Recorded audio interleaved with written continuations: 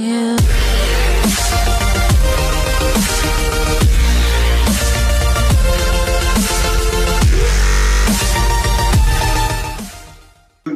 is not exactly a union, as you probably know, and now with Brexit you know that better. It's a club of states, and they protect each other. They, they've done this again and again over history. When in Estonia, uh, Latvia, Lithuania, they said, no, you are not uh, new countries, you are not free countries, we are not going to recognize you. And then uh, some uh, weeks later, they recognized them, they accepted them, and they are members of the union. So when our leaders in Europe say yes, perhaps tomorrow they will they will say no. I, I'm not afraid about that, and I am not surprised at all.